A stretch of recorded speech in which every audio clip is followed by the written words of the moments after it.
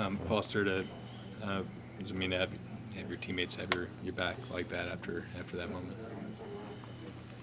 Yeah, you know, it's tough. It's, um, you know, in front of every man, woman, and child I've ever I've ever known. You know, um, it's a it's a you know it's a it's a dark place to be. It's the National Football League. Um, it doesn't come down to one play, but it comes down to one play. Um, the team fought. The team fought as hard as, as we did, and um, it's just unacceptable. It's just pathetic. How, how difficult was it, Foster? Because it didn't look like necessarily a routine play, but No, it's they pay us to do a job. It's like it's it's routine.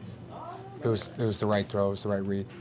I, I ran a little short on the route. I kind of I I thought I I thought something different, and I that's a short week. That's a um, lack of focus, lack of concentration. Um, it's unacceptable. It's unacceptable. how close do you feel that you guys are to the breakthrough? Because you you you've been pretty close the last couple of weeks.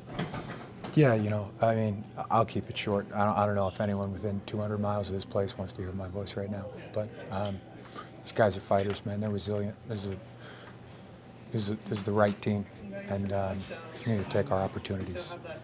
It's, uh, that's what it is. Thanks, Thanks. Foster.